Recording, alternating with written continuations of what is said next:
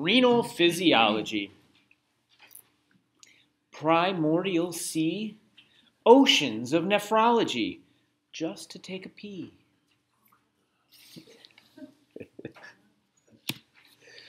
okay, urine. Oh, it's so fun. Uh, Hippocrates, let's go back and talk about this aspect of Hippocrates. Um, you know, we we talked about the Hippocratic Oath and the, the concept of uh, physiology that uh, he established, uh, that, that disease had physical origins, right? Well, uh, following along that thread of thought, that stream of thought, shall we say, um, he uh, established the discipline of uroscopy, uh, which is the inspection of urine. So he would uh, look at the um, color of, of urine and whether there were bubbles or what kind of bubbles, how foamy it was, what did the urine smell like, uh, what did it taste like. Uh, in fact, the words diabetes, the, the word diabetes just means, uh, it comes from uh, diuresis, which means to uh, urinate, excessive urination. So, diabetes is a disease characterized by excessive urination. And uh, the two terms for diabetes diabetes mellitus, which is the one that most people think of, um, that is related to blood sugar regulation. And then there's another type of diabetes called diabetes insipidus. These two words, does anyone know what the word mellitus or insipidus uh, refer to?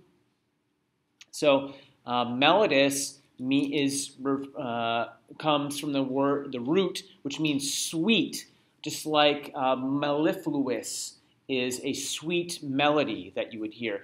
Diabetes mellitus is urine that Hippocrates took a swig of. And He's like, well, it's not so bad. It's kind of sweet. That tastes sweet. Um, whereas uh, diabetes insipidus, on the other hand, some person who is insipid is just uh, bitter and uh, caustic. So it was urine that when you took a sip, you didn't actually want to take another. Uh, not all right. yeah, uroscopy. Um, Galen and I just recently I had some fun uh, last night coloring his eyes red there because this, is kind of like the, the, the evil side of, of Galen uh, for any animal rights individuals out there. Uh, he identified that the kidneys were actually the organ that produced urine, and he did this by clamping, uh, so cutting open uh, apes and clamping off, tying off their ureters, and then watching the kidneys swell in those poor animals. Yeah, yeah, Galen. Well, anyways, uh, did identify that it was the kidney that made uh, was, was the organ that gave rise to uh, urine. Anyway, so uh, this whole process of understanding urine continued into the 1600s, where we had uh, a, a, sort of a renaissance, so to speak, of uroscopy. Uh, and we see here people of all walks of life that were not feeling well uh, would go to a uroscopist, uh, pee in a glass jar. They would look at it, smell it, swig it, whatever they did to it, uh, and to determine what was wrong with you. And there was, um, I don't have a picture on here. I should put one. Actually, I have it right here. I'll show you. Where is it? Uh, here it is. No, no, here it is. Where is it? Yeah, this is it. Look at this. They have these, and they have this broad color wheel uh, of like different colors of urine that would describe uh, things that were wrong with you. Clearly, if your urine is black, you're in trouble. yeah, maybe I'll have to add that picture to this thing. Well, um, eventually, by 1665, things were getting a little bit out of hand with people drinking, smelling, swigging, swirling uh, urine. And this gentleman, Dr. Thomas Brian, railed against the overinterpretation of urine uh, as being that uh, done by quacks in this uh, uh, in this pamphlet, this tract that he wrote, 1665, uh, 1655, called "The Piss Prophet." Let me read it to you. Wherein are newly discovered the old fallacies, uh, deceit, and juggling of the piss pot science used by all those, whether quacks and empirics or other methodical physicians, who pretend knowledge of, of diseases by, uh, by the urine in giving judgment of the same. So, anyways, yeah, he, he railed against uh, uroscopy and the interpretation of them. But they didn't stop some of these guys. Uh, here was uh, before you think that uroscopy was a complete waste of time, it did lead to some interesting uh, advances. So this guy here is named Hennig Brandt. He was a uroscopist and an alchemist who was searching for the Philosopher's Stone. Does anybody here uh, know the Philosopher's Stone, right? So uh, Harry Potter, yeah, right? The, the Philosopher's Stone, it's a real thing or it's a real imagined thing.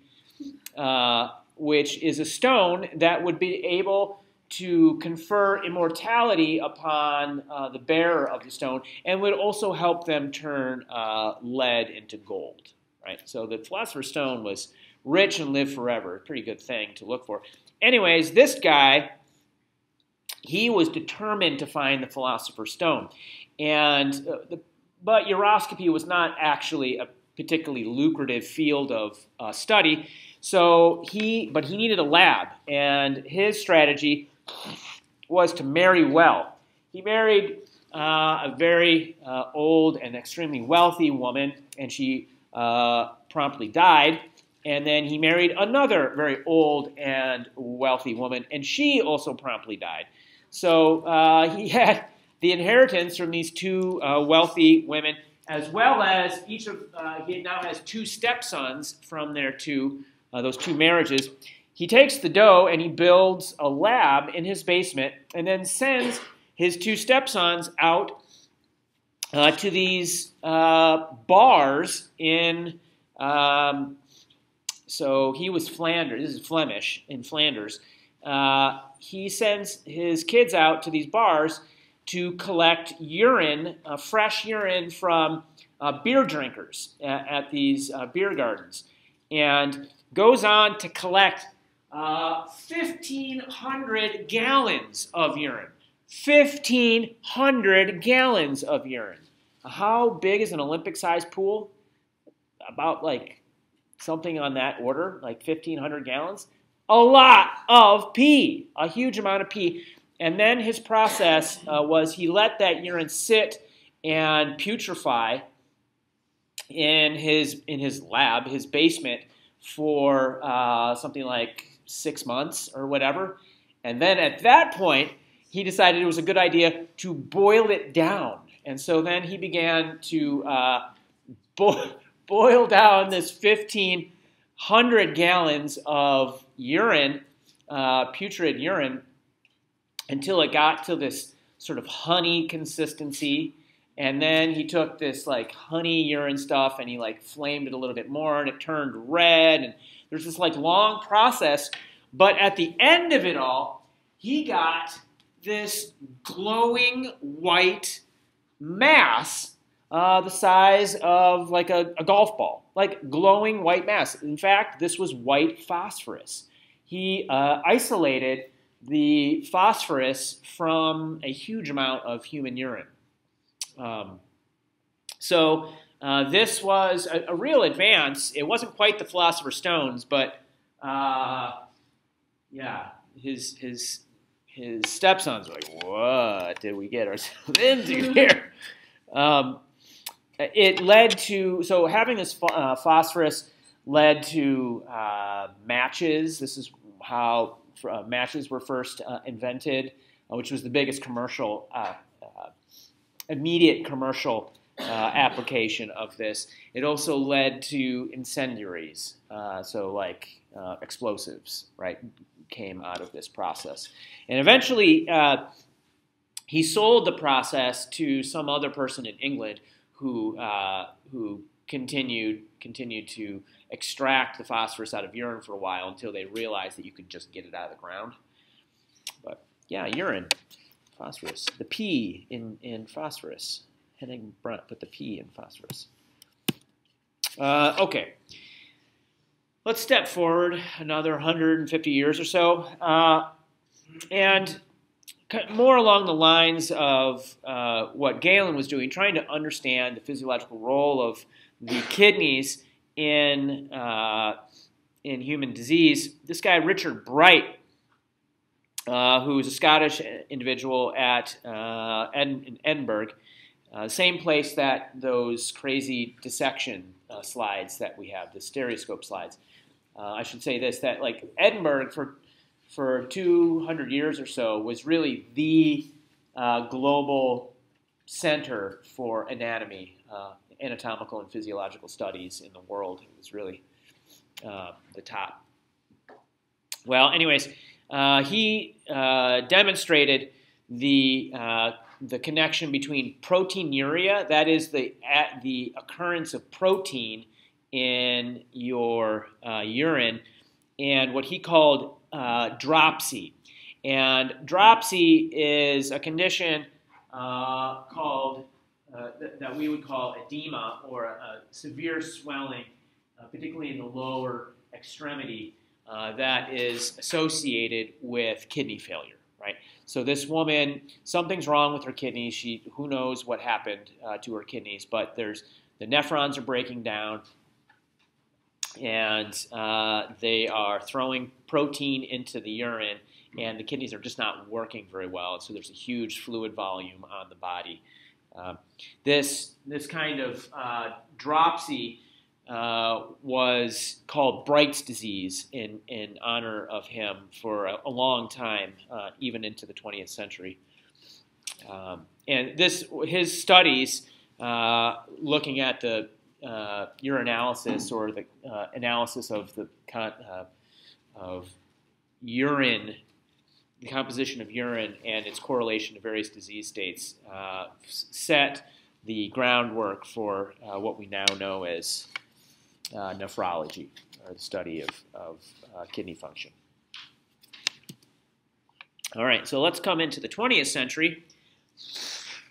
And this guy, Joseph Murray, this is kind of interesting. So um, early on, they realized the importance of the kidney, right? Uh, the kidney is really essential uh, to so many uh, functions in the body uh, blood pressure and uh, uh, osmolarity, controlling osmolarity and pH, and fluid balance. So, uh, when people had kidney failure, what do you do, right? So the thought was, well, kidneys, the thing that's nice about a kidney is that uh, there's only a few things going into it. There's the renal artery, the renal vein, and the ureter. You can just like cut them and take a kidney from someone else and stitch them back in, and, every, and we're good to go. Um, and uh, it didn't work that way at first. So in 1909, they took uh, the, the, kidneys of a pig, I believe, and uh, tried to stitch them into a human, and the, and the tissue was rejected, right? The human's uh, immune system was like, I don't know what that is, but it doesn't belong there, and it, it killed off that tissue. Um, I didn't, I don't get to talk about the immune system here much, and maybe you already understand this, but every cell in your body has something called uh, an MHC, uh, major histocompatibility complex. It's basically a protein pedestal on the surface of that cell uh, that takes the like little samples of all the proteins that are in each of the cells in your body and puts them on the surface so that your immune system, which is constantly monitoring all the cells in your body, can know that this cell is native, right? But if it sees a cell that doesn't have MHC uh, that it recognizes, then it's like, okay, well, I'm just going to kill that because I don't know what it is. Um, right. That's called tissue rejection. In 1954, this uh, cheery fellow here, by all accounts, he was really uh, a, lovely uh, individual, um, who was here in Boston. This is a, a local boy. Uh, performed the first actually successful kidney transplant. And the way they got around this, uh, this problem of MHC was by uh, finding a, a, pair of identical twins. They found a pair of identical twins, the Herrick twins. Uh, I don't know which is which, of course, but one of them uh, was in kidney failure. And so the kidneys are incredibly efficient organs. You actually only need like half of one kidney to really be fine. Um, so uh, he took, uh, Dr. Murray took one kidney out of the twin and stuck it into uh, his brother and uh, it was completely successful. Uh, and because they were identical twins, they were genetically identical, the MHC between the two of them was identical. So uh, the one brother's immune system recognized the other brother's tissue as its own. All right, pretty pretty cool. Uh, here they are looking at the first dialysis machine that was also uh, created by the same team under uh, Joseph Murray. So dialysis is like an artificial uh, kidney, an artificial kidney that that is not nearly as efficient or as effective, but uh, can for a limited time keep you um, supported. So, anyways, uh, then they they did uh, they went on to be able to do uh, kidney transplants using immunosuppressive therapy. So you can get a kidney from another person now and take, uh, you know, like steroids and immunosuppressive medicine uh, and keep your own host immune system from destroying that kidney. Um, in the future, I imagine there's there's going to be uh, ways of growing artificial kidneys uh, that completely match your own MHC, um, which that that'll be pretty exciting uh, for. That'll revolutionize the whole concept of uh, organ transplant. Like 3D printing. There are there are labs at MIT that are working on like 3D printing organs right now. Pretty interesting stuff. Okay, so let's let's dive into the actual material here. Uh, here's the urinary system, and as I said, it's made of the kidneys, uh, the ureters, the urinary bladder, and the urethra. Uh, and we'll, we always add. I was showing my my nine-year-old son was looking at over my shoulder as I was fiddling with these slides and he's like, what, what's that goo that's on top of the kidneys there? And he's like, well, that's the suprarenal gland. And we will uh, talk about it a little bit, but not too much because it's really part of the endocrine system. So what does it do? Well, uh, primarily it's an excretory system, right? It's trying to excrete uh, fluid wastes out of the body, trying to get rid of uh, these excretions. So you remember, their secretions are the production of useful uh, cellular products from epithelial cells, and excretions are is the elimination of waste from epithelial cell wall surfaces. So the job of the urinary system is excretion and then elimination. Elimination means uh, you're, you're, holding the fluid waste, but then you're eliminating it from the body. So that's uh, seems trivial, but it, it is one of the aspects of the urinary system. Um, and then, importantly, and this is where we're going to spend uh, a lot of our time, we'll spend uh, quite a bit of time on uh, excretion. I'm not going to talk about the micturition reflex, that is the urination reflex uh, and elimination at all. Although, although, it's a pretty interesting reflex, uh, how, how micturition actually works. you can do that somewhere else. But uh, and then I'm going to switch to talking about the homeostatic regulation of these sort of other functions of the urinary system. So, managing blood volume, which is directly correlated to uh, blood pressure, right? So, as your blood volume goes up, your blood pressure goes up, and converse. Um, and this is through some the action of erythropoietin and renin. We'll talk about uh, renin, uh, erythropoietin is a hormone that produces red blood cells, which also drives blood volume up. But I'm not going to talk about that at all. Uh, and then solute uh, concentration, which is under the control of a, a hormone called uh, calcitriol, which we did talk about uh, at the very first lecture of the semester a little bit. Uh, it also helps to stabilize uh, the pH in the body by the excretion or retention of either uh, um, hydrogen ion or carbonate, uh, depending on whether we need it more acidic or basic. And then lastly, uh, the uh, urinary system detoxifies the blood. Truly, it detoxifies the blood by taking uh, whatever kind of strange chemical that you ate that you shouldn't have eaten, and um, uh, trying to oxidize it in a way by you know adding hydroxyl groups, alcohol groups onto it, and making it more water soluble uh, so that it can pass out uh, into the urine. Okay, so. The renal blood supply. I, I talked about how important it was to, to uh, go through this and understand it. Uh, and so this, I won't recapitulate all of this stuff that uh, we already learned in lab. Uh, we learned that whole pathway in lab. But I will point out uh, this, that um, about a quarter of the cardiac output, uh, so 1,200 milliliters of blood per minute, that's, that's more than a, a, a quart of milk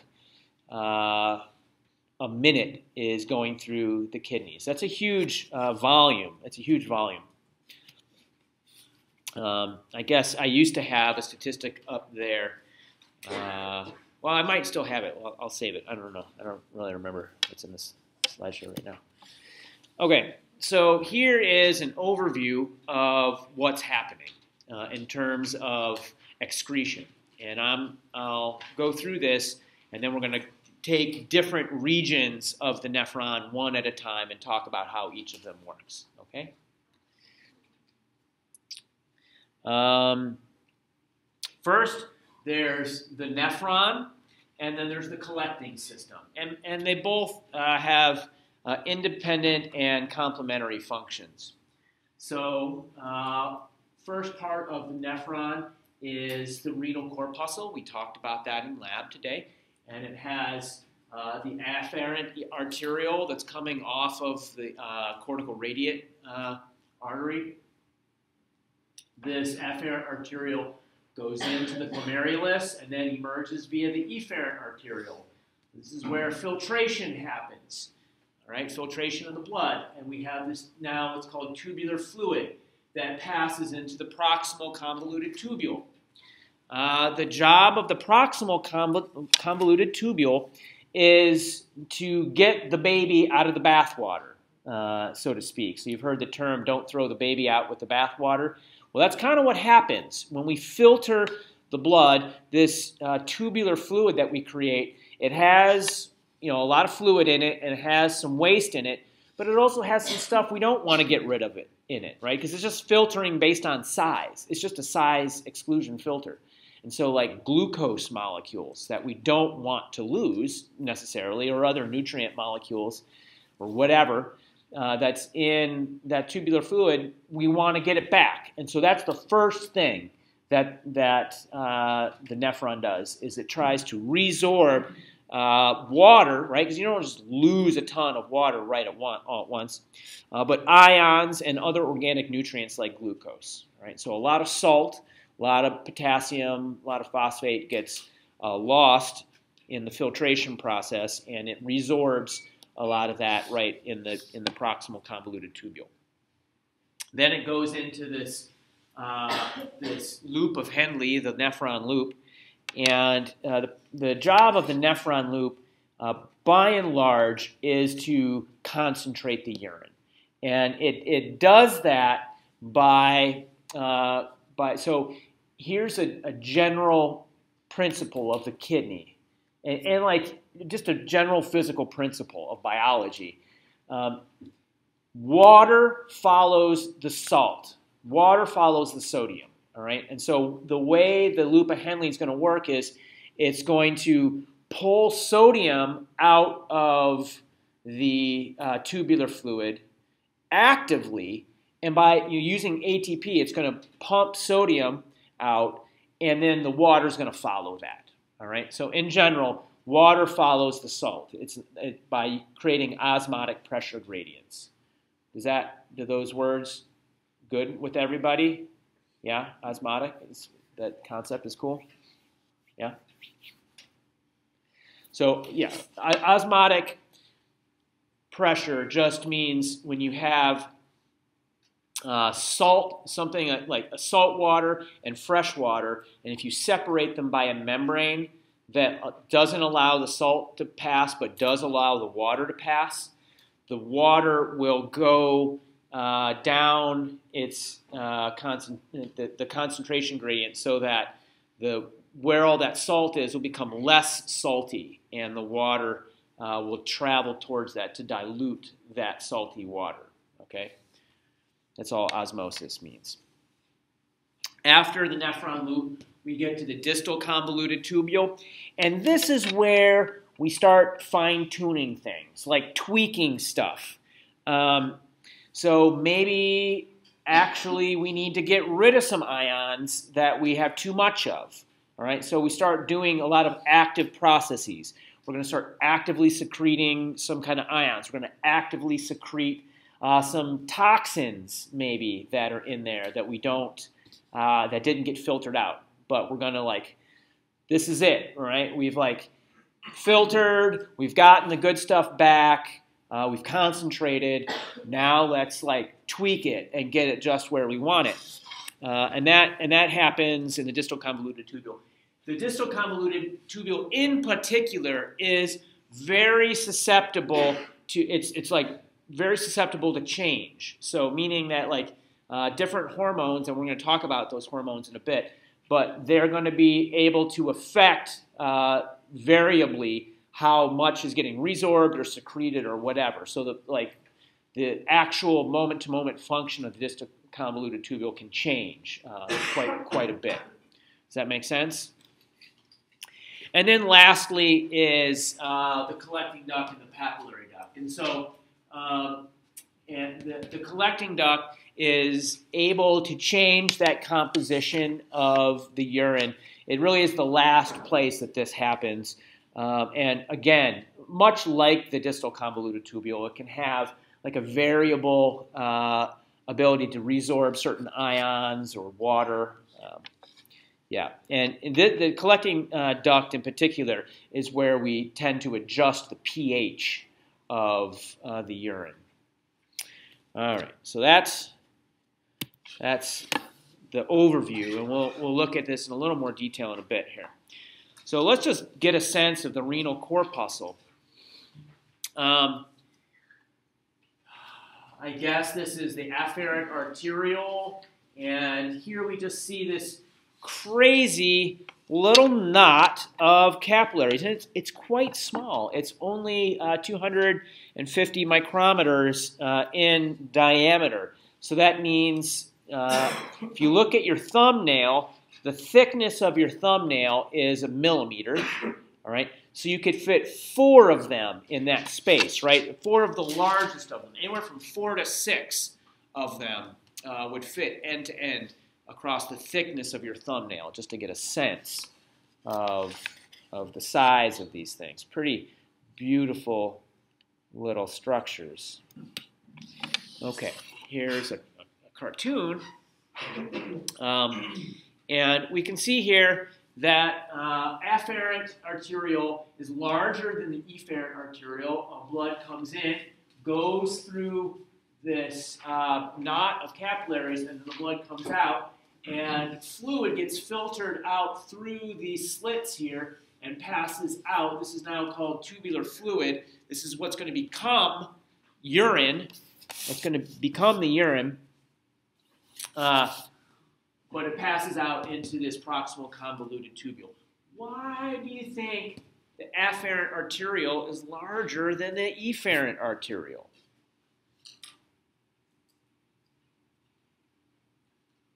Yeah. Yeah, the volume's going down, right? We're, we're pulling we're pulling fluid off the blood.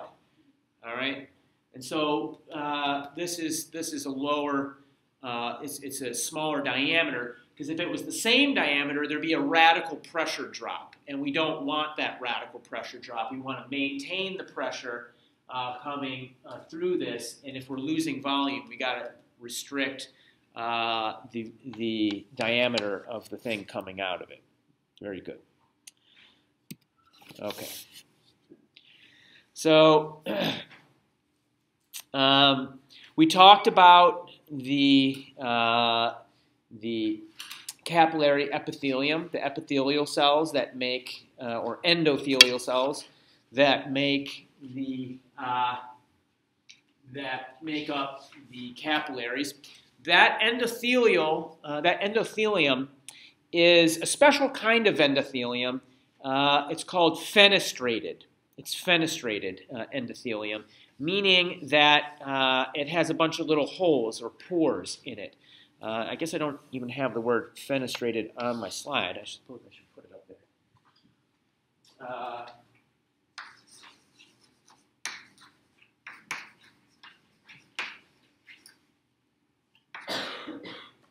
uh, fenestre is French for window, and so it just a fenest anything that's fenestrated has little windows in them or pores. Um, fenestrated epithelium. Uh, and, and that's going to be part of this filtration process. The second layer of filtration, the second filter on here, is uh, made by these uh, podocytes. The podocytes are uh, the cells, I said, look like my hands, with the, with the uh, pedicels that are coming off of them that interdigitate uh, amongst one another and create these, create these filtration slits uh, that you can see right here. So uh, the red that you see, this red striping, is really just the gap. It's the endothelium that you can see beneath it, uh, beneath the podocytes, that is part of the capillaries. They're just the filtration slits uh, that are lying between the two uh, cells. Now, when you have adjacent, when you have adjacent capillaries like this, in between them, there's going to be this kind of cell called the mesangial cell. Um, mesangial cells are going to be cells that are responsive to hormones produced at the juxtaglomerular complex, which we're going to talk about later. Uh, but that's to remind you, that's this area right here. Remember, we have the uh, afferent and efferent arterioles. This is that loop of the, the, uh, the, the part of the, the distal convoluted tubule that's going to run adjacent to these two. And then there's these juxtaglomerular cells that are right next to the macula densa. All of this area right here becomes the juxtaglomerular complex. This is like quality control central, right? This is a it's like a monitoring station. It's comparing the quality of the blood coming in to the at this point fairly close to what is urine at the far end of the distal convoluted tubule, right? It's like seeing what's coming in and comparing it to what's going out. And these cells are going to be reactive to that and produce hormones that are going to do a, a number of things. Uh, one of them is to affect these mesangial cells.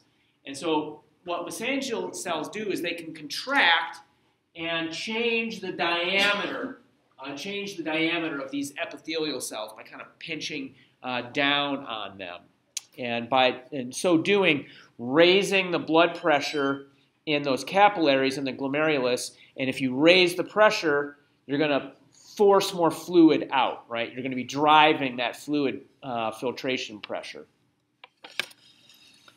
It's sort of like you have a garden hose uh, with no spigot on it, and you just like put your thumb over it and, and like narrow the opening, and the, and the filter, the water starts coming faster. All right. So uh, a bunch of these pictures are just sort of uh, driving the same concept. So we have, uh, here's the blood in a capillary, here's the capsular space. This would be like the proximal convoluted tubule. Uh, and here are these filtration slits and the fenestrated pores. Uh, small molecules and water can all pass through but large proteins and obviously red blood cells are not going to pass through these.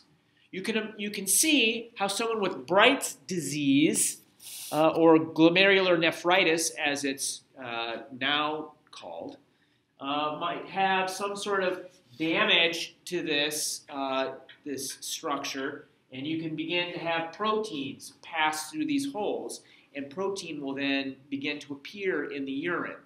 All right? So, uh, the filtration pressure is about 10 millimeters of mercury. And we're going to like break that down uh, in a bit uh, to see how that we get that number. But uh, here's just a, a close-up. So we have the, the fenestrations here in, in this uh, epithelium and then the pedicels uh, with their filtration slits in between. And the solutes can just pass right uh, through there, the small solutes, small molecules. Just a filter. That's all it is. It's a filter. Um, okay, so I don't know how the hell you get a picture like that, but they took it. Uh, it's a scanning electron micrograph of uh, glomerulus, and you can see here. The, so this would be a podocyte. This is a podocyte. These are all podocytes that are laying on top of the uh, capillary uh, endothelium, and then the pedicels that are lay, extensions of those cells laying next to one another with all their filtration slits uh, in the kidneys. Okay, so uh, this is the, the forces that are involved in this glomerular uh, filtration. So um, there's the, the blood uh, hydrostatic pressure that's going out.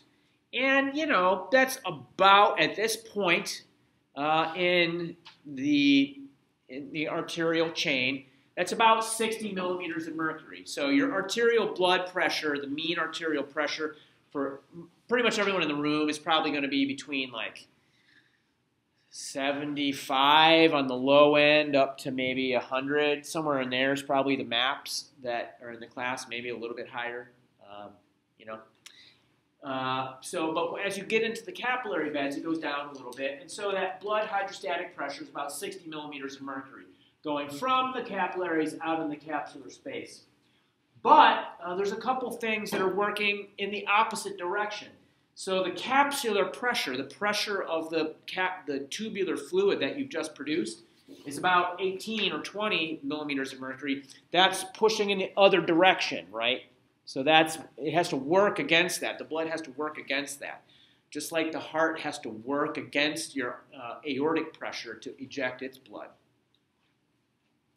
Uh, and then there's this colloid osmotic pressure. Uh, and this is often the hardest one for students to understand, but uh, there's the osmotic pressure, just like I described osmosis a moment ago, where you have a membrane and you have two solutions on either side, and one of them has a much higher concentration of some solute. Well, the fluid that has a lower concentration, it's going to go in the direction of the higher concentration. All right, and uh, the blood. So a colloid is like milk is a colloid, blood is a colloid. Colloid is just where you have. Oops, geez, where's the picture I want? Geez, here we are. Uh, it's where you have these like plasma proteins that are in suspension. These plasma proteins are, are, are colloids up in suspension. They're not able to pass. And because of this, there's a higher concentration of these plasma proteins that's going to draw water back into the blood, right? So that's the colloid osmotic pressure. Um, nothing you can do about that. That's uh, about 30 millimeters of mercury going back into the blood. Uh, luckily, the blood pressure is high enough so that there's a net of about 10 millimeters of mercury pushing fluid out into the tubular fluid. That's how we get to the, the 10 millimeters of mercury. All right. So that number goes up, of course, as your, your blood pressure goes up. Uh, kidneys, in particular, are susceptible to high blood pressure. So that picture I showed you of, uh, of uh, Robert Bright and the woman with dropsy, That's, that woman was probably just hypertensive. She probably ate too much salt in her life or whatever, had high blood pressure, and it destroyed her kidneys, sent her into kidney failure. So uh, if you have chronic high blood pressure, you get this nephrosclerosis, pretty nasty, pretty nasty. Um, you begin to rupture the glomerular uh, capsule and, and, and, membranes, the capillaries. Uh, they, they get this like scarring, and uh, also high blood pressure leads to atherosclerosis in the coronary arteries and the renal arteries as well, uh, and you get uh, renal failure, which is not good. Okay, so we're going to talk now about how the kidney controls glomerular filtration rate, like that rate. So I just showed you the forces that are giving us the, the pressure, right, that, that uh, 10 millimeters of mercury. And there's, there's three ways uh, that it gets regulated. There's going to be auto regulation uh, that happens at the local level. Um, and then there's going to be some hormonal regulation that is initiated by the kidneys. And then the sympathetic nervous system will uh, send in some autonomic uh, nerves that will also con control that. Those are the, the three ways. We're going to unpack some of that um, in, the, in the coming slides here. Any questions so far before I dive dive in? Everybody's good? Like scribble, scribble. Smiling, good. Uh, so let's talk about uh, the endocrine method, that, that hormonal uh, control method that is initiated at the kidneys. It, it all starts at the juxtaglomerular complex. Um, so I said there were two proteins that uh, are going to be produced here. The first is called erythropoietin. Um, and this hormone, the, the job of erythropoietin, uh, it, it's going to get dumped into the blood. All right, uh, it's, it's produced by these juxtaglomerular cells and gets dumped into the blood that's leaving via the efferent arteriole. And what happens uh, is uh, these cells are monitoring this blood and they say, oh, wow, the oxygen level is low in the blood. For some reason, it's just a low oxygen level. Uh, and that's what stimulates these cells to produce erythropoietin. As soon as erythropoietin uh, hits the bloodstream, it goes to your spleen, it goes to your red bone marrow, uh, and it causes cells in that tissue to produce red blood cells. And we, what, what is that going to do? We learned about that yesterday, right? It's going to be more blood cells, like 280 billion molecules of hemoglobin per uh, red blood cell. So that means um, roughly 1 trillion molecules of oxygen per red blood cell. Uh, and as you make more red blood cells, that's actually going to increase your blood volume. Not the liquid part, the solid part. But it will increase uh, the blood pressure a little bit. Now, this other protein that's made here is called renin. renin elevates the blood pressure, but by affecting the fluid component of the blood, the fluid component. All right? And we're, we're going to see how that works uh, next. We're going to spend quite a bit of time on that. Okay. So,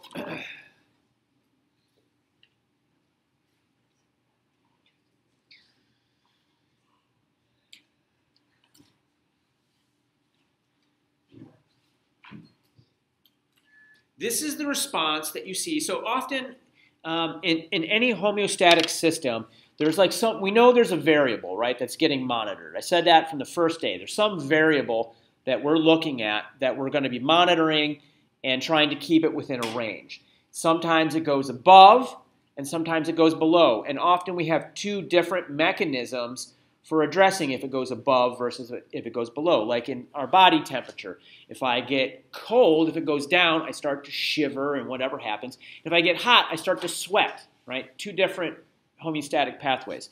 So this is the pathway uh, that we have in response to an increase in the glomerular filtration rate. So that, that filtration rate goes up. Uh, we're, we're comparing tubular fluid in the distal convoluted tubule to the glomerulus, and we notice that there's, there's some kind of problem, there's something outside of the normal range where uh, we have an increase in the GFR. So what happens? That we uh, see an increase in that. That's going to lead to an increase in the filtrate and the urine production uh, as sensed by the macula densa. And the macula densa, then uh, it's paracrine tissue, so it's going to make a bunch of uh, it's going to make a bunch of hormone that it's going that's going to affect tissue right next to it. There, there's paracrine cells that are going to affect tissue right around it. Remember, there was autocrine, that's cells that that affect themselves with the hormone. Paracrine are uh, cells that make hormones that affect their nearest neighbor without using the bloodstream. And then endocrine are cells that dump the hormone into the blood, right? So there's some paracrine secretion that happens here that's going to do a number of things. It's going to affect the mesangial cells and lead to a, a, um, a contraction of the mesangial cells. That's going to uh, uh, also lead to a constriction of the afferent arterioles. Yeah. Uh, a constriction of the afferent arterioles. So we're limiting the blood uh, that's coming into the uh, uh, afferent arterioles, and then we're dilating the efferent arteriole. So we're minimizing that pressure differential between what's coming in and, and going out. All right. We were keeping that pressure differential and the size coming in and going out as a way to keep pressure up uh, in, in the glomerulus. That's going to reduce the glomerular uh, blood pressure and then uh, restore GFR.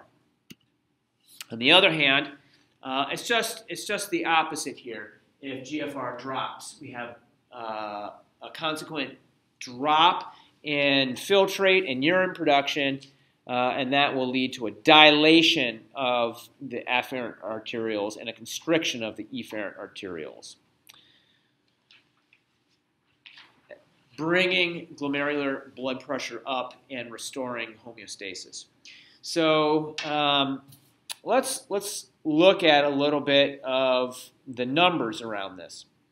Um, we have, so your glomerular filtration rate, your kidneys, uh, filter out about 125 milliliters per minute. That's a little like a little juice glass, a little a small like juice glass volume of filtrate uh, per minute. That leads to about 180 liters per day. Woo! 180 liters per day. That's like that's like a pretty big size barrel. That's larger than your body, right? Um, so if all of that fluid became urine, there would be nothing left to you within a short order. You wouldn't make it more than an hour or two uh, if you lost all of that fluid at, at, that at that actual rate. So 99% of that is going to get reabsorbed in, by the renal tubes. Okay, uh, the proximal, distal, uh, and the loop of Henle, all that stuff. Um, about 10% of the fluid that enters the kidney leaves uh, the bloodstream as uh, tubular fluid into the capsular space. So fairly efficient process all around here. Talking about, the, so that's a lot of fluid that's getting filtered out, right? We're going to move from the capsular space and we're going to begin to consider uh, these tubes, the proximal convoluted tubule, the loop of Henle, the distal convoluted tubule, and how to affect that fluid going through the nephron. Um, considering water balance and resorption of water, you have to consider sodium and potassium at the same time. Like I said, water follows the salt. Whatever, wherever the salt's moving, the water's going to follow it. All right? So when we're thinking about sodium, potassium, and water homeostasis, like the resorption or uh, release of this stuff, there's going to be uh, two aspects. The first are these molecular factors. Um, and these are the three categories of molecular factors that are going to be important. I'm just naming them, and then I'm going to like show you how they connect one to one another in the next couple slides. Um, the major hormones, so as you're looking through the slides, some of these slides I moved around, some of them are, are new slides. There's no new material, it's just like I'm kind of expanding my description of them, so I, I apologize for that. Uh, the major hormones, there's three major hormones, angiotensin, aldosterone, uh, and antidiuretic hormone, or ADH. There's a host of minor hormones, and I'm not going to get to talk about all of these. I won't talk about all of these. I'll talk about a few of these, uh, but I, I, won't talk about most of them. Uh, but I will talk about all three of those in, in detail.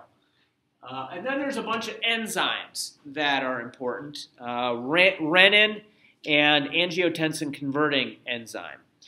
Uh, so the, both of these enzymes are going to relate to the function of these hormones, uh, and we'll see what happens with them uh, in a bit. So then the other part of it are systemic factors. So I showed you the, the cast of characters. We're going to see what plays out with them in a bit, but that was the cast of molecular characters. These are some systemic factors uh, to consider. So uh, there's first of all the GI system, and that's how much how we're getting water on board, right? So we can absorb some water through uh, the GI tract, and, and that's where that's where we get it, right? All the water comes in through the GI, and and some of it does get secreted into the GI tract too, right? We have to, so we absorb water in the stomach, and then we like dump water in uh, to the system through the, the the intestines, and then in the GI, uh, in, in the colon, we absorb a lot of that water. We just need to like turn everything we eat into a fluid mush, and then when it gets into the colon, we take that fluid back out. And so uh, we, we, there's a net absorption of water in the GI tract. Um, and then there's uh, the intracellular space. So I showed you the fluid compartments in the body in the cardiovascular unit. A lot of water uh, exists inside the cells of all of our, our, all the cells in our body and there are going to be shifts in uh, the proteins that are on the membranes of those cells that are going to uh, affect how much water is coming in or going out of the cell and what sodium that's passing in and out and potassium is passing in and out of the cells. We've seen a little bit of that already with um, like neuronal function, how sodium and potassium are you know going in and out of the cell. Uh, but there's there's other aspects of that in non um, in non excitatory cells. Uh, then there's the renal system. So there's filtration we've already talked about, uh, and that's removing water from uh, the pool of body fluids. And then there's also resorption, right? And there's going to be a balance between the two of those. Lastly, there is the endocrine system which is going to be the kind of control system that's mediating uh, a lot of the effects that we're going to see throughout these tissues.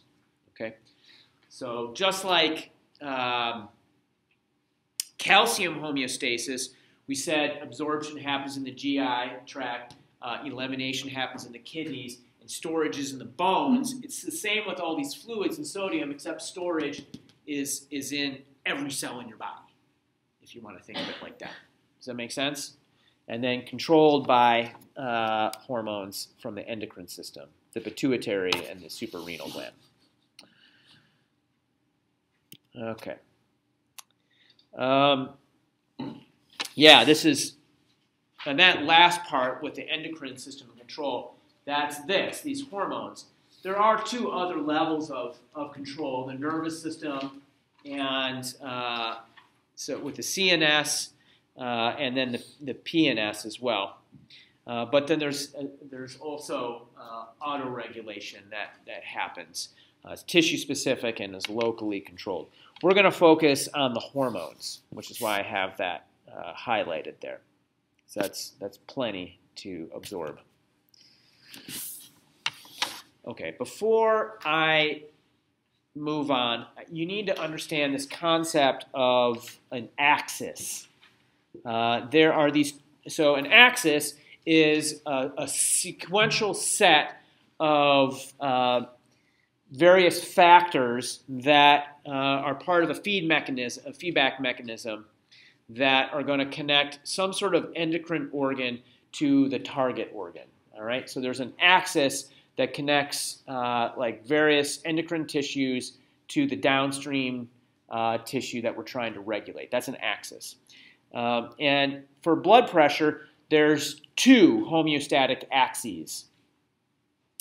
There's the RAA axis and the HPA axis. The renin, angiotensin, aldosterone, and then the hypothalamic pituitary adrenal axis. Um, and we're going to go through those. I'm going to show you what those are. Those are the cast of characters that I introduced. I'm going to show you how they relate to one another in these two axes of control. Who's with me? Yep, everyone? Sort of? I lost you? You, you good? Okay. So first let's do the RAA axis.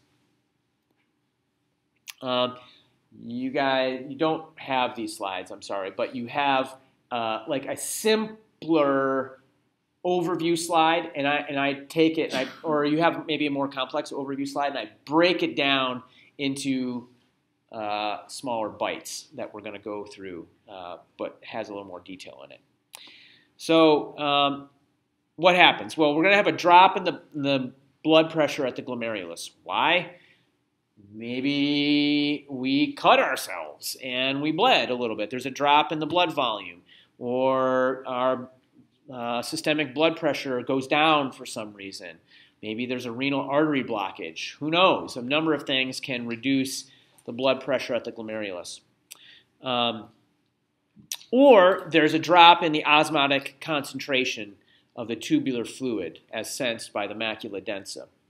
So all any of those conditions are going to stimulate the production of renin. You remember that renin is one of the two enzymes that I said were the molecular factors that had hormones, major hormones, minor hormones, and enzymes. The two enzymes were renin and ACE. So renin gets produced, and the job of renin, which is produced at the macula densa, is to take this protein called angiotensinogen that's produced in the liver uh, what did I say? Any protein that has the, the uh, suffix uh, inogen on it? Ogen? Did I say that? I feel like I did. You remember? It's not finished. It's a proenzyme, which doesn't mean professional. Uh, it means uh, not fully active yet. It's not active. It's going to become active. It gets, uh, so angiotensinogen is a, is a pro-enzyme or, or pre-enzyme is the way you can think of it. It's not actually, it doesn't have a function yet. It's not doing anything. Uh, it's 453 amino acids long. Renin is an enzyme that is going to cleave most of that off. And it's going to leave behind 10 amino acids. That's the functional bit. Only 10 amino acids in this giant mess uh, are, are actually uh, active. So angiotensin 1 is going to get acted on by a second enzyme, angiotensin converting enzyme, ACE, another enzyme that's going to cleave two more regulatory amino acids off of uh, angiotensin 1. And that's going to give us angiotensin 2. Okay? So all of this was just getting us to the point of having the hormone that's actually going to do what we want it to do. All right? So this is a pro-hormone. This is also a pro-hormone. Uh, and then we have angiotensin 2, which is just a little piece. It's a peptide, really. And that's going to be what does what we want. Okay. can you see how this is an axis, like a, a like step-by-step uh, homeostatic process that's connecting uh, endocrine tissue, specifically at the juxtaglomerular complex, with uh, downstream effects at the tissue that we're interested in. So angiotensin 2 uh, is circulating in the blood, and that is going to stimulate um, the production of aldosterone. So there are these steroid precursors, hormone precursors that are in the uh, the epinephrine, uh, the, the suprarenal gland, uh, that are going to be subject to angiotensin 2. Convert that to aldosterone, and aldosterone is going to have an effect on the kidney. Uh, it's going to cause aldosterone causes the kidney to save its sodium and water. So it's, it's really sodium. It's going to cause the retention of sodium or the reabsorption of sodium, and water is going to follow it. All right? So it's pulling water, pulling sodium back uh, in, and that is going to elevate the blood volume and thereby the blood pressure. Okay? So, I mean, the, the real rubber meets the road here when aldosterone is acting in the kidney to just make us resorb sodium. That's, that's really it, right? But how do we get down there? We have this proenzyme that's being affected by renin. So renin is, is the thing that trips the set of dominoes, right? Renin is produced by the, by the macula densa, or the juxtaglomerular complex, uh, to, and causes the set of dominoes that ends up in the production of aldosterone, which is going to have us resorb sodium and thus water and raise the blood pressure. Okay, so now get ready. I'm going to add some more. Yeah. Took me a little while to make this slide. So uh, there's a, it's a little more sophisticated than that as well. Angiotensin does, uh, angiotensin 2 does a bunch of other things. It also turns on the sympathetic nervous system. It uh, stimulates the hypothalamus. The hypothalamus is going to stimulate the pituitary gland, uh, which is going to cause the production of ADH. ADH is going to have the same effect as aldosterone. It's going to cause sodium and water retention. Meanwhile, the hypothalamus is going to uh, initiate the sensation of thirst. You're going to get thirsty. You're going to go and grab a glass of water, tall, cold, fresh water. Yum. So refreshing. Feel it going in. Uh, drink it and elevate your blood volume and pressure. Um, and then lastly, angiotensin 2 the name, so look at the name, angio, meaning arteries, right? Uh, tensin, uh, it's going to it's gonna tense them up. It's going to take your arteries and lead to vasoconstriction. So those, uh, the, the blood vessels are going to constrict and reduce the actual physical space of uh, that the blood is in, and thereby increase blood pressure. All right. So angiotensin Two has a lot of different mechanisms. There's uh, all this stuff, well, there's the, the method through aldosterone, there's a pathway through the sympathetic nervous system, which we're not even going to really touch. There's uh, activities through the hypothalamus, which is thirst and drinking, and through the pituitary, which leads to ADH, and then direct effects on uh, the circulatory system. So angiotensin 2 is a pretty powerful molecule, and you can see why it's good to have it as an endocrine uh, hormone because uh, systemically, because it's affecting all kinds of aspects uh, related to blood pressure. So initially, back when I was here, you may be thinking, well, why does renin have to be, why, why is all this in the bloodstream? Renin started at the kidney and aldosterone works at the kidney. Why can't we just keep it at the kidney? Uh, it's because there are a lot of other components, oops, to increase blood pressure that are being um, that are being invoked. Okay. So here is uh, we're going to zoom in a little bit to the effects uh, that are actually happening right at the nephron from some of these hormones. I said angiotensin uh, 2 causes the resorption of sodium. Uh, this, this is at the proximal convoluted tubule. This, uh, to, to keep it um, so that it's at a charge neutrality, uh, it also resorbs carbonate. Um, and then uh, aldosterone, uh, its primary effect is along the uh, late distal convoluted tubule and the collecting duct, where it's going to have a sodium potassium antiporter. All right. Uh, so again, keeping a charge neutrality, it pulls sodium in and, and pushes potassium out. Uh, but then it uh, is able it's able to uh, get that potassium back by using a uh, hydrogen ion potassium antiporter. So the net effect here is that we uh, resorb sodium and pump hydrogen ion out. We just switch, uh, we, we acidify the urine and keep charge neutrality by resorbing uh, sodium.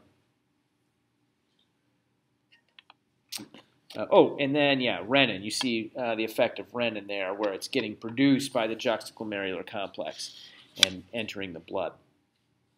Uh, so the, the sort of like flow here has the, the perfusion pressure, the blood pressure at the kidney is low. This, this stimulates the secretion of renin, which in that, in that complicated, complicated slide last time I showed how it we get a production of angiotensin 2, uh, which leads to the production of aldosterone. Uh, this increases sodium resorption. Water follows the sodium. Blood pressure follows the water.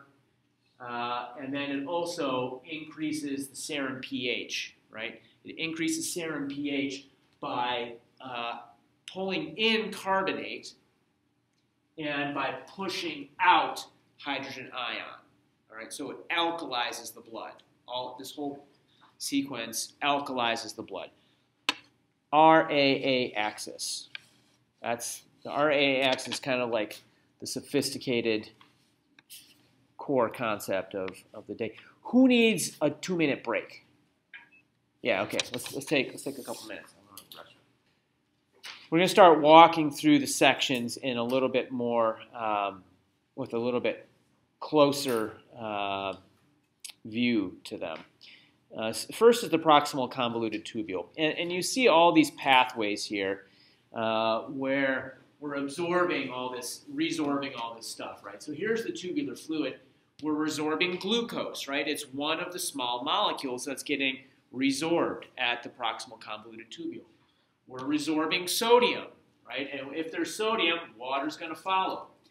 Uh, and we're, we're excreting or exporting hydrogen ions. We're uh, uh, also absorbing carbonate. The point that uh, I, I want to drive with this slide is not get you to memorize all the details of all this, but to note that all of these processes, everything that's happening here, uh, that sodium is involved in all of it. So sodium is a co-transporter with glucose. Uh, sodium is, is an anti-transporter with hydrogen ion, and uh, and sodium is co-transporting with the carbonate. So all of the uh, all of the functions of the uh, proximal convoluted tubule are dependent upon that resorption of sodium. It's, uh, it's underlying uh, everything.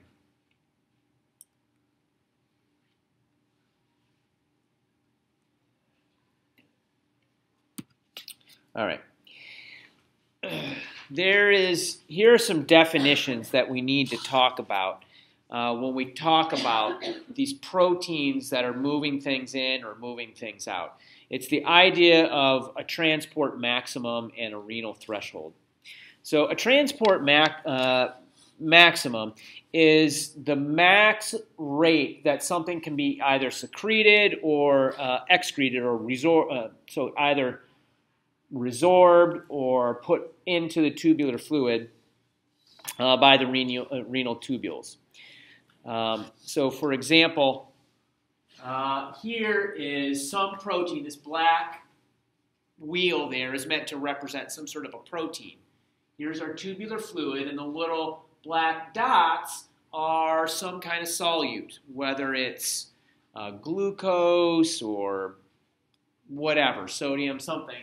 Uh, and each of the little cogs uh, on that wheel there is uh, sort of the active ability of that transport molecule to transport one of the solutes. So in the first panel, it's below the transport maximum. You can see there are like open sites as it's transporting stuff uh, in the urine, uh, out of the urine.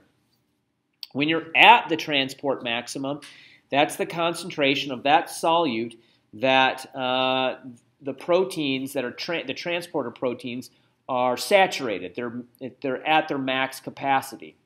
If the concentration of that solute goes beyond that transport maximum, then the protein transporters are unable to transport enough things and some stuff is going to get through. Okay? Um, so this uh, renal threshold, this relates to the idea of renal threshold. Uh, it's the concentration of a solute in the plasma that uh, at which that solute begins to appear in the urine. Beyond that, that uh, concentration, you're going to see that solute in the urine. So this is going to change with uh, one, one substance to another, right? Because each of these different substances are going to have unique transporters that are going to resorb them, all right?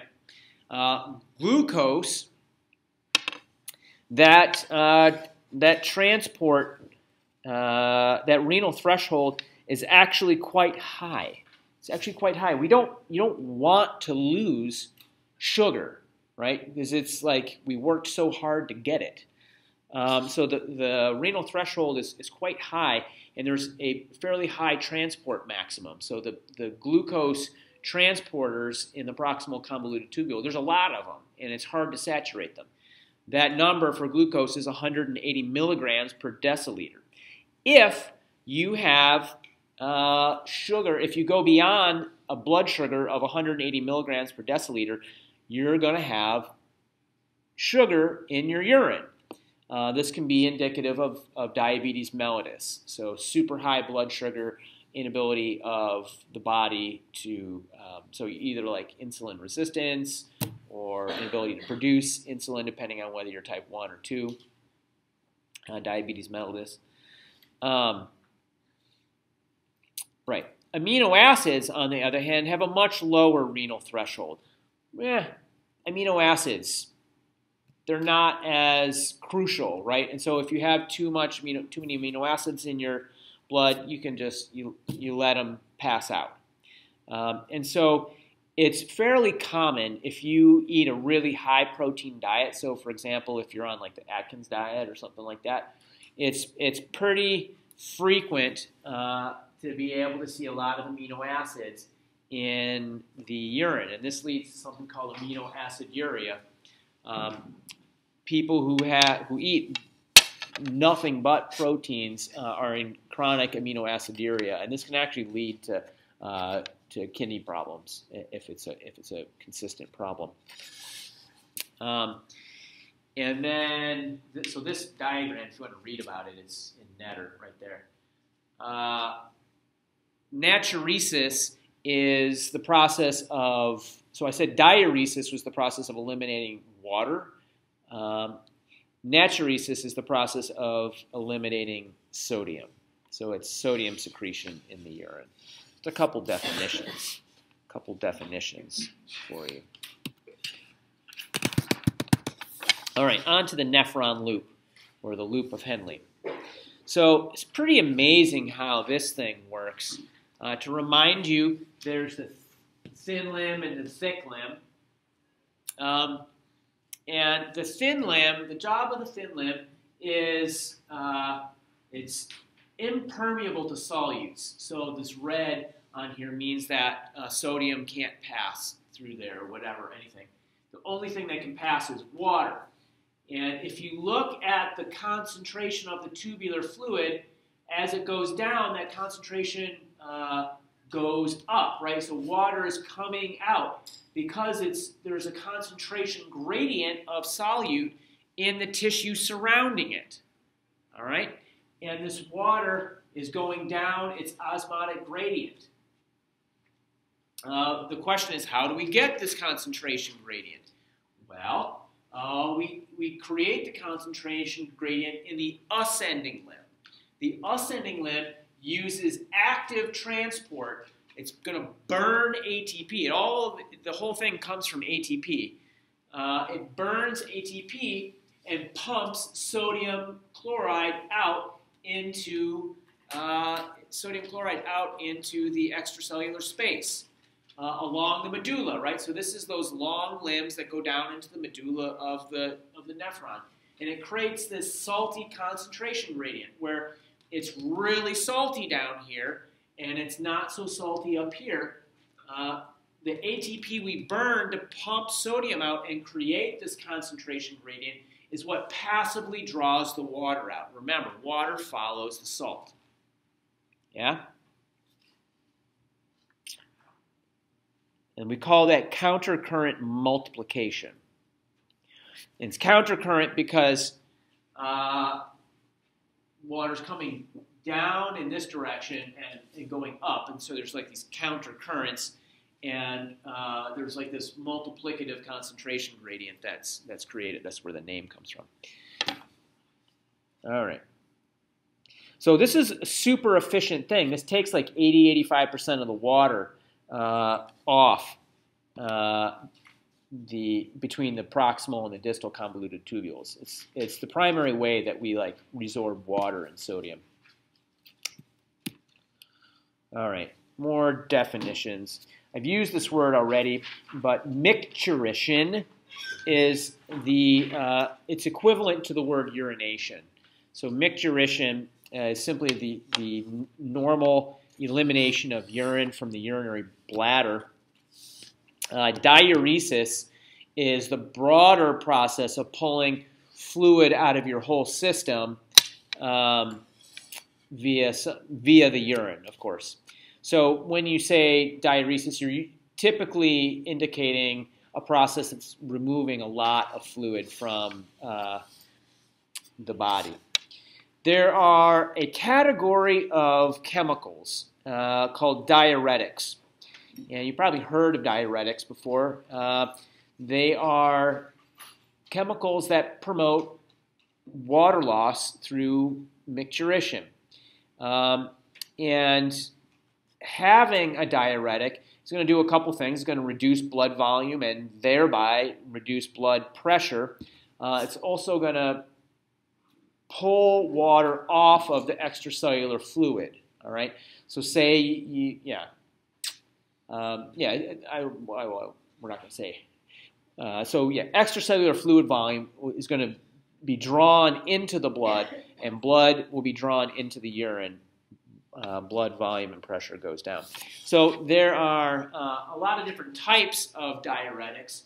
Uh, so for example, uh, furo, furosemide, is that how you say that? Furosemide is a loop diuretic. It's going to affect, specifically affect uh, the function at the nephron loop.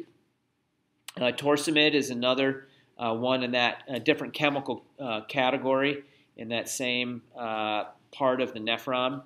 And then here's spironolactone. This sort of cholesterol derivative is um, an aldosterone agonist, meaning it, it mimics aldosterone.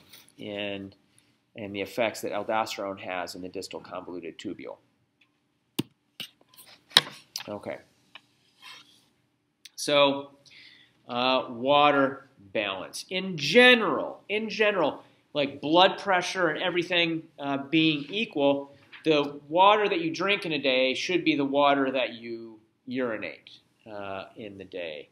Uh, and, or uh, exhale through uh, your breath or is evaporated off through the skin. So blood comes in through the GI tract, um, and uh, so this is where the water is entering, and there's usually uh, like no net resorption or uh, filtration uh, balance here, uh, but then we lose some water to urine and some uh, through the lungs and the skin. So the way that our body is able, this right here, we don't really control this. We can't really control this. So if we need to conserve water, uh, we conserve water by making the urine more concentrated. If we need to eliminate water, uh, we do that by making the, the urine more dilute. All right. So by independently controlling water and sodium retention or elimination, you can defend against a host of possible disturbances that might happen to the body uh, in, in the bodily fluids. So let's just look at some of these possible things that can happen to you. Maybe you are um, maybe you are dehydrated. So that means your blood volume, uh, your, your water volume has gone down. You're dehydrated. That also means that your osmolarity or the sodium concentration in the blood has gone up. It's just like having a glass of water that's got salt in it. If you, if you boil some of that water off, the salt water is going to become more concentrated. So that's dehydration. Uh, whereas blood loss is going to decrease the, the water on board, but also the salt because you're losing the salt with the water. That's like pouring some water out of the cup rather than, than boiling some off. Uh, or you can ingest salt. So if you like go, uh, if you're going to watch the Patriots or whatever, and you like hoss down a whole bunch of salty peanuts, you are bringing a bunch of salt into the body. What is that going to do? It's going to make you thirsty. Uh, and so you're going to reach for a can of Coca Cola. Uh, why not? And you drink that, but then the Coca Cola has as much salt in it as two pieces of pizza. What? It's true. Uh, there's a huge amount of salt in a can of Coca Cola. Look on the label sometime. And so there's more salt, and you're like thirstier. So you're going to like bring a bunch of more fluid on board, right? And so you're well, that's why there's a star next to this. So you're eating something salty, and of course increasing the osmolarity, but it's going to it's going to make you thirsty. So you're going to bring uh, water on as well, and it's going to increase your blood volume. Or maybe you just like to drink pure water. My son, when he wakes up first thing in the morning before he can even open his eyes, he sort of like staggers into the kitchen, and I was like, water. He asks for a cup of water. It's really dry in the dorm downtown. And so we like pour him a big glass and like he slugs it down and then like slugs another one down and then wakes up. Uh, but what is that doing? That's going to increase his blood volume, but it's going to decrease the salt concentration uh, in his in his blood. So there's all these these different uh, things that can happen so that your, your water volume and your salt volume do move independently from one another. And these are the hormones uh, that, that can affect uh, these things. So if you have a de decrease in blood volume, anti or water volume, antidiuretic hormone is going to be the, the hormone that uh, controls that. Uh, angiotensin also is going to uh, lead, uh, is going to help respond to a decrease in water volume. Whereas we didn't talk about atrial uh, natriuretic hormone and, and brain natriuretic hormone. Um, I just showed them as a list of minor hormones. But these would be uh, the hormones that respond to an increase in water volume. Conversely, uh, if you have too much, uh, if, if, you're losing too much salt, aldosterone will help you resorb sodium. So we saw that already. This is these three we've already seen. Antidiuretic hormone, we well, we haven't really seen antidiuretic. But antidiuretic hormone is going to respond to an increase in, uh, in salt. So antidiuretic hormone would be what? It would be the best to use in this case here, right? When you have an increase, uh, I'm sorry, a decrease in blood volume, but an increase in osmolarity. If you're dehydrated, antidiuretic hormone would come in. Um, and whereas, say you had uh, you had you were in this case where you had just drank a bunch of water, that would be a good time for atrial natriuretic hormone and aldosterone. So you can see by the combination of these different hormones, you can respond to each of these different uh, scenarios that you may, your body may find itself in. Is that? Yeah. So I'm not going to ask you to like know the mechanisms of that, however.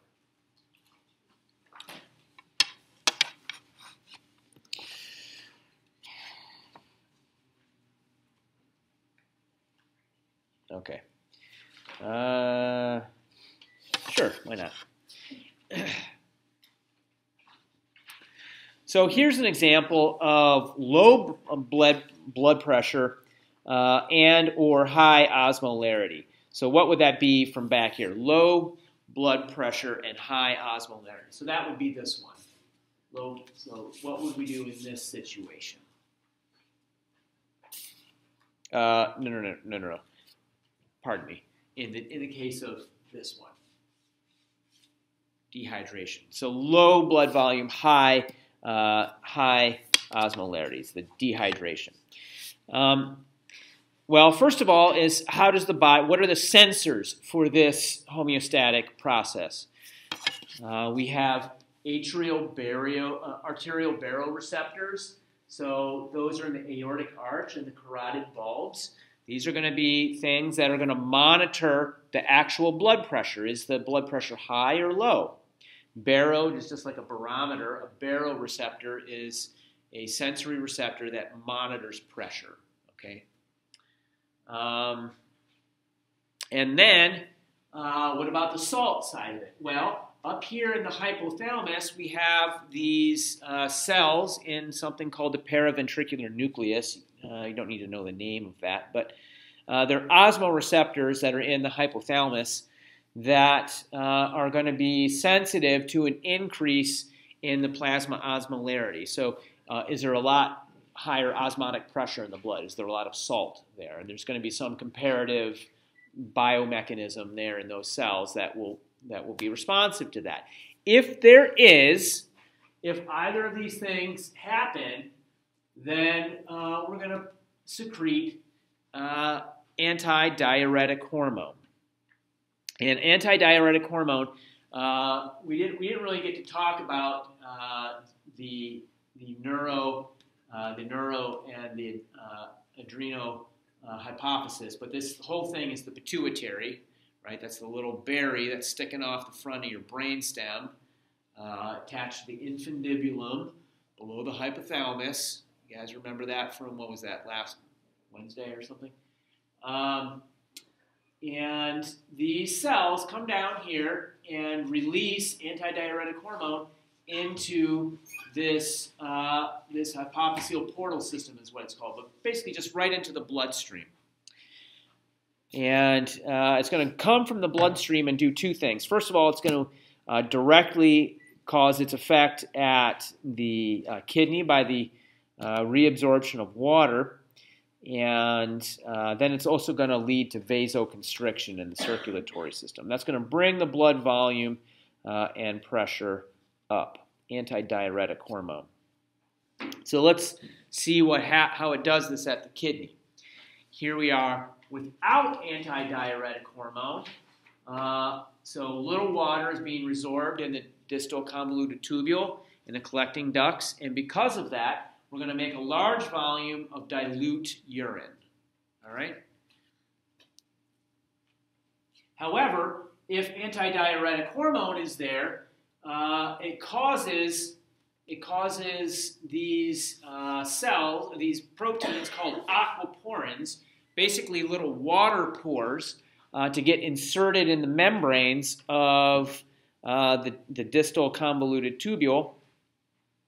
And because of that, all this water is going to get drawn off of the tubular fluid into the extracellular space. Remember, because of these uh, this countercurrent multiplication in the nephron loop, there's this, this uh, concentration gradient of salt that's being made in this tissue right here. And so what we're doing with this collecting duct, we're putting aquaporins in and allowing water to flow across this barrier down its osmotic gradient. All right? So again, using salt uh, to, to draw that water in. And because of that, uh, with ADH, the aquaporins get inserted in the membrane, and uh, we have a small volume of concentrated urine. This is the kind of thing that happens, for example, at night. Uh, a lot of times when you wake up in the morning, your urine is, is darker uh, than it normally is, hopefully, during the day when you're drinking lots of fluid. Uh, that's because uh, you're conserving fluid uh, during the night to stave off dehydration because you're not drinking any fluids. All right, antidiuretic hormone. You also sometimes will see the name vasopressin. You see vasopressin as a word that's used for ADH. Okay. Um, so How do we inhibit ADH uh, secretion? Well, um, there's this protein called atrial natriuretic, natriuretic protein or hormone, uh, ANH. And it is produced by the atria, in the atrial walls of your heart. Holy cow, man. Can't one part of the body just do one thing? My Lord, all these body parts doing all kinds of things. Well, the atria, uh, they expand when the blood flows in there. And uh, if uh, it's flowing too much and the body wants to, like if it's getting too stretched, like there's too much fluid volume, the body wants to rid itself of the excess fluid volume, uh, the heart produces this uh, natriuretic hormone. Uh, it's going to have a lot of uh, downstream effects. First of all, it's going to inhibit uh, cardiac cell growth, which, you know, that's what that is. But it's going to affect the hypothalamus, the pituitary, uh, and by so doing, inhibit secretion of ADH directly. Uh, then it's going to cause vasodilation uh, in the circulatory system. It's also going to increase uh, endothelial permeability so that water can get out of the blood uh, bloodstream into the extracellular space. And then it inhibits renin production at the kidney uh, and also and also um, leads to natriuresis and diuresis at the kidney. So ANH is one uh, mode of inhibiting ADH.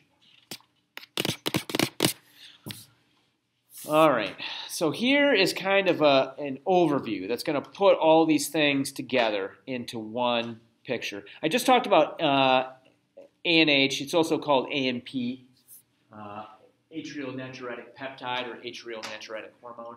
I didn't talk about brain natriuretic peptide or hormone. It it's, like does the same thing as ANP. It's just like cells in the brain make it as well. Um, so uh, we talked about how blood gets in. This is where we get our sodium, potassium, and water in the first place. Um, and you know, depending upon what hap- what, what's going on, whether the blood pressure is up or down, these are the major end effects uh, of these of these different hormones. So angiotensin 2, uh, just to keep it straight in your head, angiotensin 2 is going to increase the blood pressure and uh, blood volume. I guess blood volume follows blood pressure. Aldosterone is going to increase uh, blood volume and blood pressure, but uh, it's going to do so also by exporting potassium. So if, we, if you go back and you look uh, through those the slides, one of the consequences of aldosterone is uh, potassium export as you import uh, sodium. So say you have too much potassium on board. On top of these, pro these problems, then aldosterone is going to uh, be the, the major uh, mode for normalizing blood volume and blood pressure. Whereas if serum potassium is not high, I didn't go through a lot of the regulatory mechanisms behind that. It's fairly sophisticated. Uh, but angiotensin does not lead to an export of potassium. Anyways, uh, so in general, angiotensin 2 and aldosterone have similar effects, as does uh, ADH. So it's going to in, increase uh, blood volume and increase blood pressure.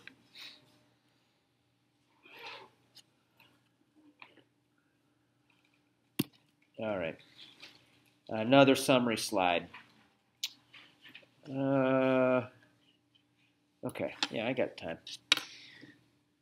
Proximal convoluted tubule. So the, the filtration happens at the at the uh, renal corpuscle. The proximal convoluted tubule is where we're trying to resorb uh, the solutes that we lost, like the glucose and uh, sodium, for example, uh, potassium. We're also exporting uh, some nitrogenous waste and, and hydrogen ion there. Then we get into this descending loop, or this, this loop of Henle, the nephron loop. And the job of the nephron loop is to uh, resorb sodium and resorb water and set up a concentration gradient in the medulla of the kidney. Distal convoluted tubule, uh, its job is to it varies, but its job is to secrete um, toxins. It's to unload potassium uh, if if we need to. It's to also uh, resorb sodium and water and carbonate. So in general, the distal convoluted tubule is alkalizing the blood. And then uh, the collecting duct is just all about concentrating the urine um, with under the direction of ADH. So that's, that's a summary of the renal function. Okay. Here are some nitrogenous wastes. What are the waste things that we'll find in the urine? Well, they all contain nitrogen. Um, and I guess the, I don't I don't think I talk about it today. Uh, I certainly don't because I'm almost done. I think I'll talk about it tomorrow. The con- the concept of nitrogen balance. Um, so, uh, but all the nitrogenous wastes in our body uh, find themselves primarily in the urine rather than the feces. Uh, we have ammonia and urea, which are essentially breakdown products of amino acids, proteins, which get uh, broken into amino acids, and the end stage for that is ammonia and urea. And then uh, nucleic acids are the other place in the body uh, where there's a lot of nitrogen and uh, that leads to the production of uric acid, um, and then uh, uh, creatine is also a nitrogen-containing compound that is derived from the nucleic acids, uh, and, and, that can also end up in the urine. So all the, the waste products are either from proteins or nucleic acids, um, the nitrogenous waste in the urine. All right. So for the last five minutes here, I'm going to talk about uh, pathology, a little bit of pathology.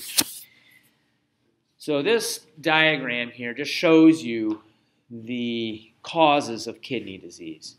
Uh, almost half of uh, people with kidney disease have it because of diabetes mellitus, about 45%. Um, and then the, the another third of people with uh, kidney disease have it because of high blood pressure. All right, um, and then there are about 20% have other uh, other problems. Tomorrow, so I, I've been like the little bit of pathology I put in here. I'm sort of knitting a story together that you may not be completely aware of. I'm going to take a lot of these threads that I've created, I'm going to put them together and talk about um, metabolic disorder, uh, the, the concept of metabolic disorder, because uh, tomorrow is going to be metabolism. And you'll learn that uh, coronary artery disease and uh, types of cancer and diabetes and high blood pressure. These are all part of a suite of diseases called metabolic disorder. Uh, and that is metabolic disorder is actually what connects diabetes and high blood pressure because both of those are sim- symptoms of, of metabolic disorder. So, fully uh, three quarters of kidney, kidney disease out there is because of metabolic disorder, right? Let's, let's take a, a look at diabetes mellitus. Well, uh, diabetes mellitus, there's two types. There's type 1, uh, and this is a juvenile onset diabetes. These are people who uh, it's congenital. They're, they're typically born uh, to have diabetes, uh, and their pancreas just fails to produce insulin. They just don't make insulin. Uh, their body, their cells in their body are responsive to insulin, but uh, these people, you'll often see them with like insulin pumps. They have to wear an insulin pump, um, and they can lead they can lead totally normal lives once they get that. Uh, um, and then there's type two diabetes, um, and that's that's the sadly 90% of the people out there with diabetes uh, have type two.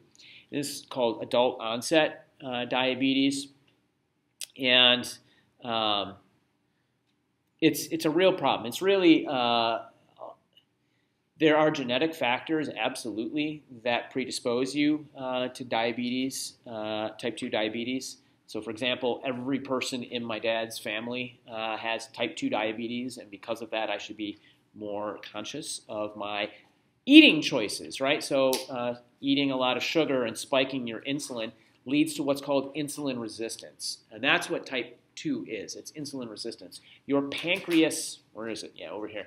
Your pancreas can make uh, insulin, but the cells in your body don't respond to it. They don't. They're not making the insulin receptors any longer on the surface of the cells, and so those cells are not able to take up the sugar that's in your blood. You know, when your blood sugar is chronically high because you're eating a ton of sugar all the time, uh, then uh, the the body starts being like, whoa, too much, hold on, whoa, insulin, like because your pancreas is like, holy crow, I got to make some insulin. It's pumping out the insulin, and then the cells in your body are like, whoa, insulin, back off, and insulin receptors get downregulated, and you become resistant to uh, the insulin that's in your body. It is a problem so you have uh, two to four times the risk of ischemic heart disease and stroke because of it. You have 20 times the risk of a lower limb uh, amputation. Uh, it's, the, it's the primary cause of uh, blindness um, out there, non, non-traumatic blindness like somebody poking you in the eye otherwise, uh, and uh, kidney failure. Um, it also leads to dementia. A lot of diabetics become uh, demented because of peripheral vascular disease uh, that is, is attendant with it, which is the peripheral vascular disease is why they, they get their limbs amputated. Uh, sexual dysfunction, so impotency, that's also a peripheral vascular problem. Uh, and diabetes mellitus knocks 10 years off your life expectancy in general. Um, a lot of symptoms. You can see systemic weight loss. What? How does that work? Like your blood sugar's super high, but the cells are starving. Your cell, you're literally starving. So a lot of the symptoms of diabetes are similar to symptoms of people who are starving. Um, so, uh, like you can see a person who has been starving or who is an alcoholic uh, will have uh, a smell to their breath, a kind of sweet smell, sort of like acetone. Uh, and it's because of the ketone bodies, they're in ketoacidosis, the ketone bodies from burning fat because they can't get the sugar in their cells. People with severe untreated type 2 diabetes also have that smell on their breath um, that, that you can see. So there's this uh, systemic weight loss, uh, the, the, smell and the breath of ketoacidosis. Uh, they can have blurred vision because of effects on the on the retinal arteries. Um, yeah, so there can be effects in their breathing. Uh, there's a lot of uh, urination because of effects at the at the kidneys. Uh, yeah, nausea, vomiting, abdominal pain, and a lethargy or stupor. Uh, and that is because their blood sugar is high, but the brain can't take it up. And so their brain cells are starving too. So imagine if anybody's ever fasted for a while, what you feel like when you're fasting, you kind of like like this a little bit. That's what it's like having diabetes, type 2 diabetes that's not been treated. So, anyways, um, last slide here. I just have another minute. Uh, I love looking at this part of it because you know maybe some of you guys will go on to policy careers. You'll get your MD or something, who knows, and you'll, go work for the World Health Organization or work for some actually responsive part of the federal government um, that will be functional in the future, presumably. Uh, yeah, 25.8 million children and adults in the United States. That's 8% of the population. So this, these numbers are old. We'll have new numbers uh, in 2020 with the census. But um, yeah, that, that number is probably actually around 30 million now. Uh, so that says there's, there's about 20 million diagnosed and about 10 million undiagnosed. There's about 10 million people with, di- with diabetes out there. It's like the population of New York City walking around this country that don't know they have diabetes. Um, those numbers are, are, staggering, but this number is gnarly, man. There are 80 million Americans, 80 million Americans that are pre-diabetic. They're on the way, ready, ready for it. It's coming for them. Uh, pre-diabetic. Uh, that's that's serious. About two million new cases uh, in people 20 years older and older in 20, uh, 2010. So Uh, in 1985, uh, there were 30 million people worldwide, but United States exported the American diet, the American diet, high fructose corn syrup. And uh, currently, there's about 300 million.